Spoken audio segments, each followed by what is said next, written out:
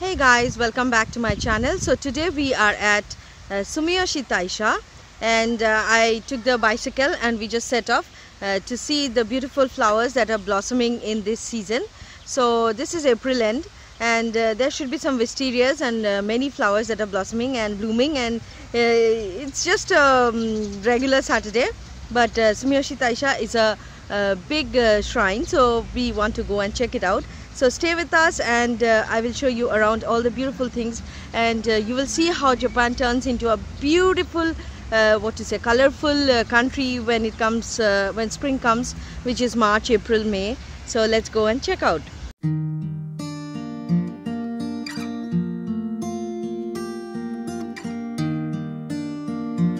So guys Sumiyoshi Taisha as a choice for um, you know a tourist uh, spot uh, although it's a little bit away from Namba but you know this place is not so crowded like Kyoto and uh, Kobe so or Namba. So and also there is a good uh, shopping arcade and there's this huge park and there is this uh, temple uh, Sumiyoshi Taisha uh, which is one of the head temples of this place. So uh, it's not at all a loss if you keep at least two to three hours uh, to visit this place uh, in your trip especially because you will be able to uh, taste the food feel the good energy and the vibes and take some fresh air. So yeah this is very nice place. I don't see many people crowding to sumiyoshi taisha but uh, this is one of the uh, not so visited places uh, which I wonder why because Sumiyoshi Taisha is uh, way better than any other places where you have just a small shopping arcade uh, yeah so it's not a loss if you put Sumiyoshi Taisha in your itinerary. Okay guys so the path to the Sumiyoshi Taisha looks somewhat like this. And there's one shotengai. We'll go later. He, he's singing. And this is the tram line see? This is a tram line.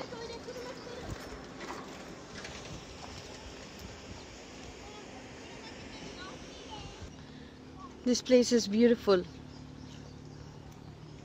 So peaceful. And look at that. You can go in the jungle and sit there for the whole day with a book in your hand. You can just read the book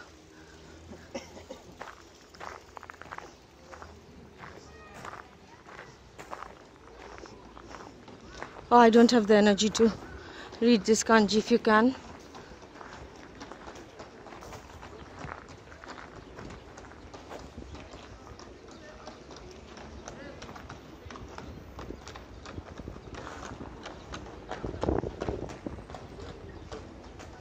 And there's lots of history written in Sumiyoshi Taisha. You see?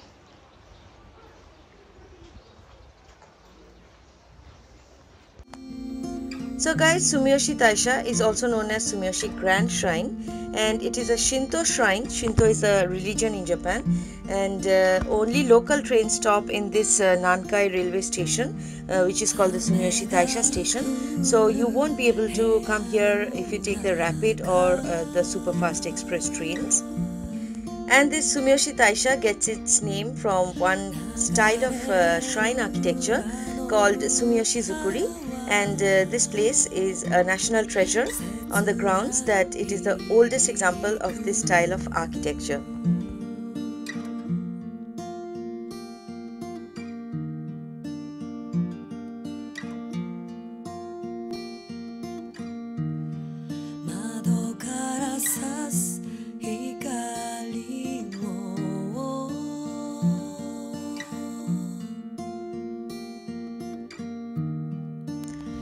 So this Taisha enshrines the Sumiyoshi Sanjin gods, uh, collectively known as the Sumiyoshi Okami. So there are three gods. And then also Oki Naga Tarashi Hime no Mikoto, uh, who is also known as the Empress Jingu. So uh, if you uh, go deeply and study about Shinto religion, you will know everything. Uh, I have very little idea, but whatever I know, that's that's what the gods' name are.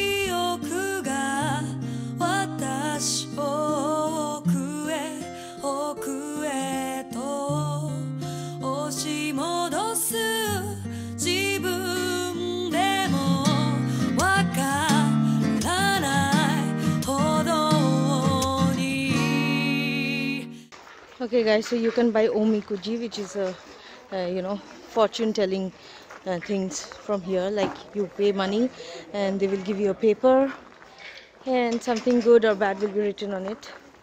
And then you can also buy omamori from here uh, which is like uh, if you have seen my Kyoto vlog uh, in every temples and shrines in Japan they put up their wishes like this right? And of course God considers them. So these are the kind of oh huge. Now see so many wishes like God will be busy reading them all. Beautiful isn't it? And that's a Taisha it's one of the oldest Shinto religion. There's this preparation going on. This is this I guess is because of the position that will go out in the Matsuri that they will have very soon. So the preparations are on. So there will be God inside and somebody from here on the front four people on the back five six people. It's considered very auspicious to carry the carriage on their shoulders. And this will be the biggest biggest one I guess that will carry on their shoulders. And these are also the small ones. Like it, it's a position right? So small ones in the front and then the big one and then again small one followed. So if you get a chance do check out the event calendars in the Sumiyoshi Taisha website. And that one is the biggest one under preparation. So basically this is how it looks like.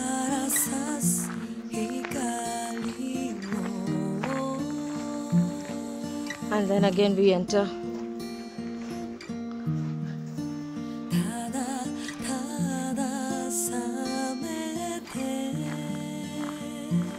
The forest area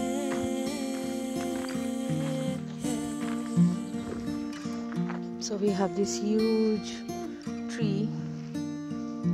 It's a very old tree. And then we have this gate. Probably they are worshipping the tree which we also do in hindu religion peepal tree and all that banyan tree and all that. And then there's this dog guarding the gate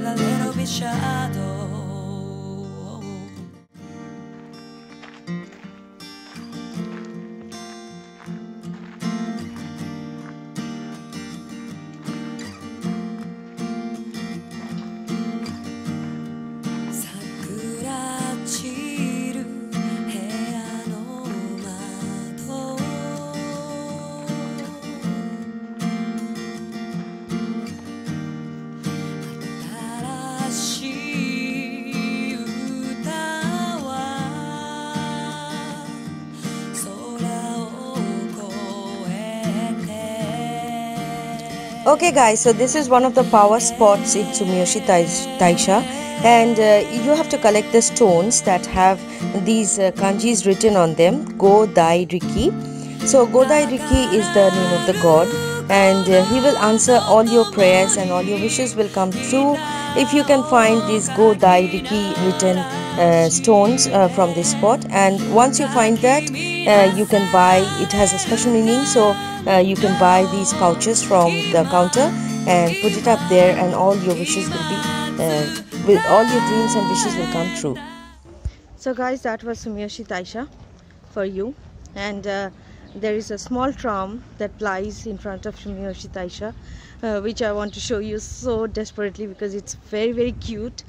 And if you get a chance, just take a ticket and hop on. uh, so that you can check the surrounding areas. Somehow I feel today was a very fruitful day. Uh, yeah. Oh, it's come. Okay, so this tram goes to Tennoji Ekimae. So it's flying from Tennoji Ekimae.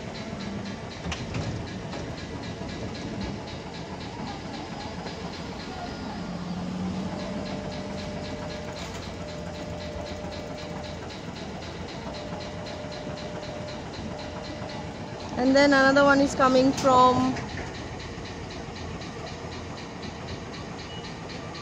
Hamadera Ekimae. No, it's going to Hamadera Ekimae. Ah, this is so cute. Oh my god, I can't believe this. And look at this. This is what happens in Japan. Uh, does Indian train drivers or train conductors come down to help pick up the child? Never. But it does happen in Japan. Uh, Another act of kindness.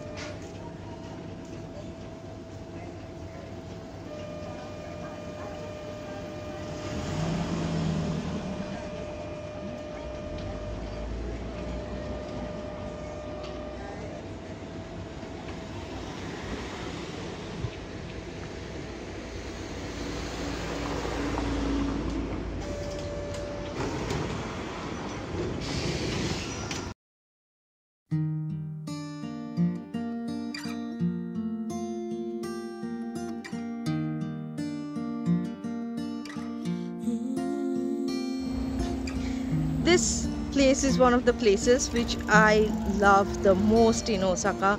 Mm, One of my top favorite places because it's, of course, because it's not crowded. And he's selling mochi. He's singing and selling mochi. Very interesting. And there are also a few cafes uh, around this place.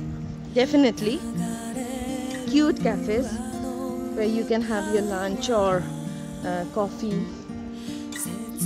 Lots and lots of activities to do. Just because it's a uh, inaka village doesn't mean that uh, there is nothing to do. It's totally totally traveler friendly.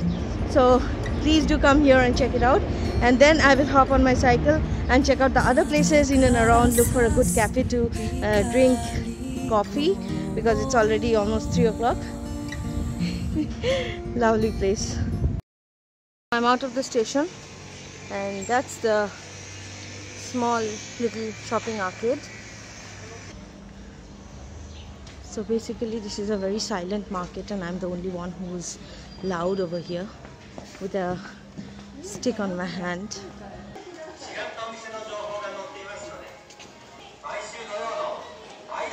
Okay so these are the plastic replica foods that i was talking about on my other video. You see these are the kind of foods this is plastic. So if you go inside and order any one of them they will serve you and these are the real ones. What else do we have? We have uh, crockery again kitchen utensils. No thanks. Amazon. So this is basically uh, they have uh, fashion stores fashion clothing stores uh, for the aged people and let's see what's the fashion of the aged people? Oh so these are the kind of fashion in the inaka. Uh, that's from italy. Uh, i shouldn't make a joke. That's from italy and it cost 5100 yen. Okay so this red beads necklace is from italy and it cost 5100 yen and I think I kind of like it. Beautiful isn't it? It's very Indian though. Looks like a Raja Maharaja necklace.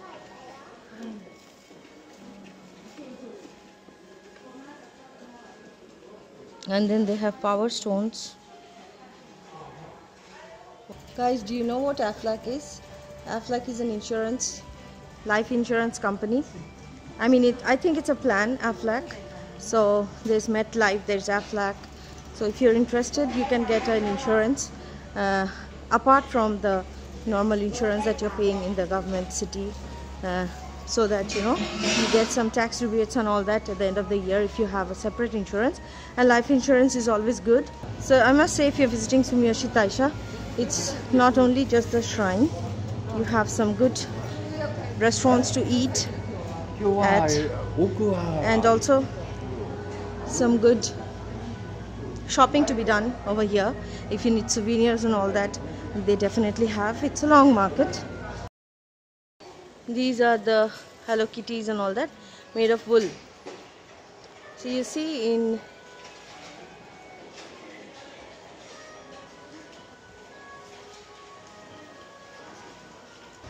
I guess half the market is closed because of uh, the weekend, Saturday. You know, people in the Inaka, the villages, they don't open. Oh, look at that jewelry. They don't work on weekends. They have, they prefer to stay, spend time with their families. Sushi. Yeah. So the so shotengai is uh, half of it is closed today, but it's okay. There's enough shops. Like I'm already tired walking.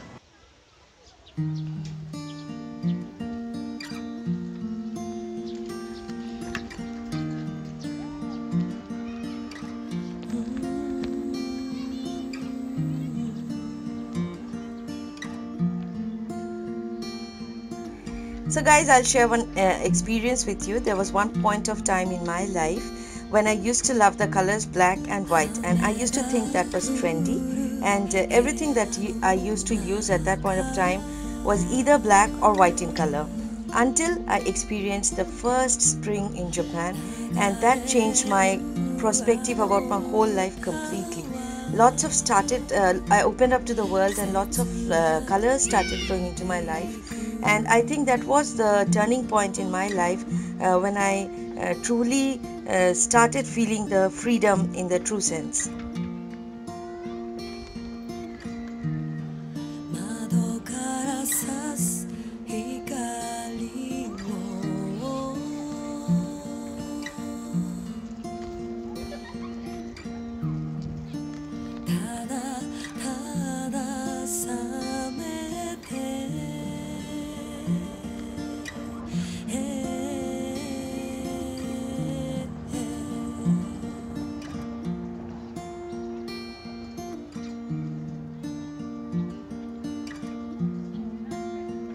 So that is the Nankai station of Sumiyoshi 蘇 Taisha.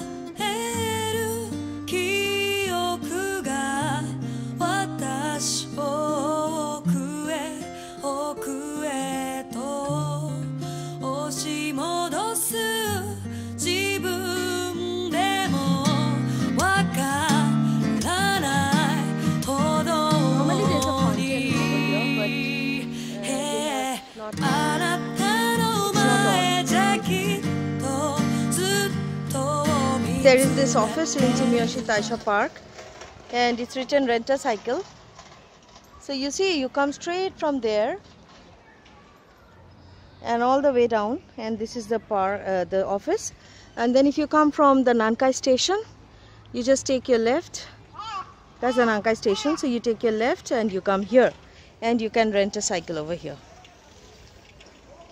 so guys, the sakura flowers are all gone, but uh, uh, right after sakura comes the wisteria flowers, which are purple colored flowers, uh, not the ones that are behind me. It's a hanging flower, and they bloom. And also, month of March, April, and May are the best season to visit Japan. Uh, A because uh, it's full of colors, uh, full of different kinds of flowers bloom, blooming, and B it's not very cold or hot, so it's like Suzushi, very moderate.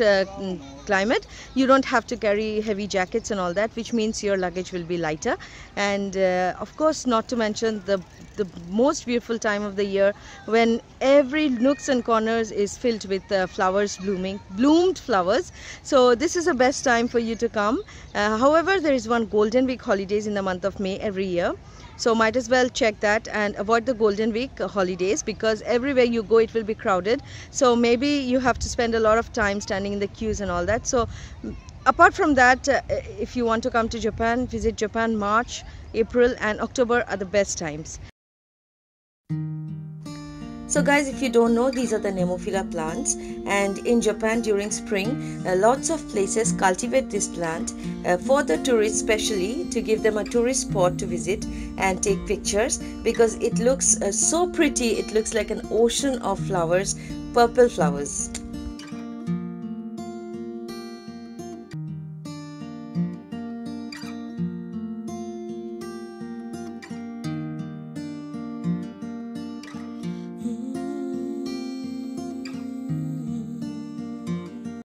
So guys, uh, there is this huge pond in Sumiyoshi Taisha Park and uh, there is one particular pond which is protected and I can see lots of tortoise in the pond. So tortoise is considered very lucky for the Japanese people.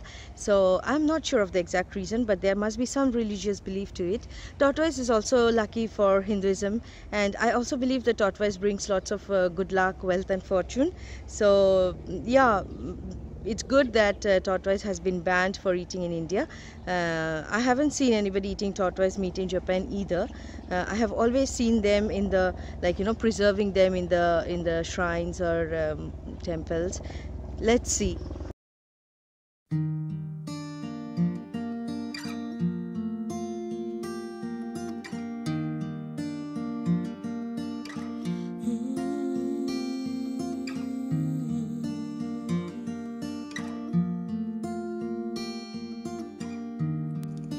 So guys, you will like this place a lot because there will be lots of children playing around and there will be a few friends uh, who are walking around talking about their life and their achievements.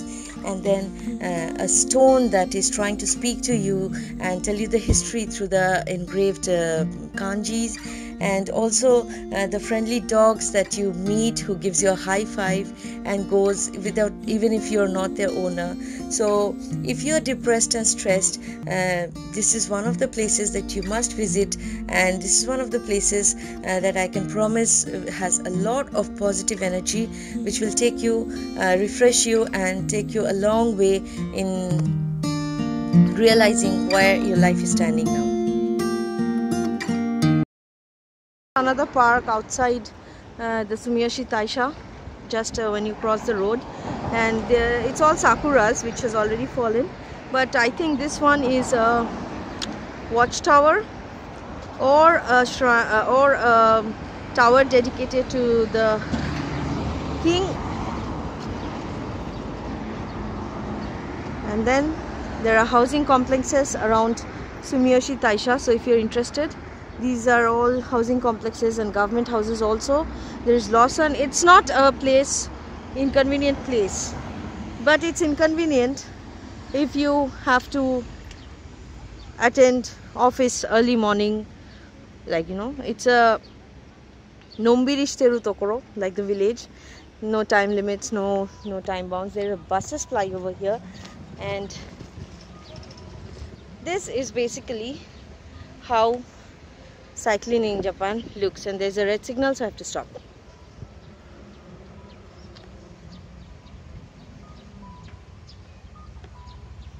I'm thoroughly enjoying this day and uh, one or two months from now I will enjoy because it will be springtime. After until after that it's gonna become cold again and uh, we have to put on the thick sweaters and jackets again.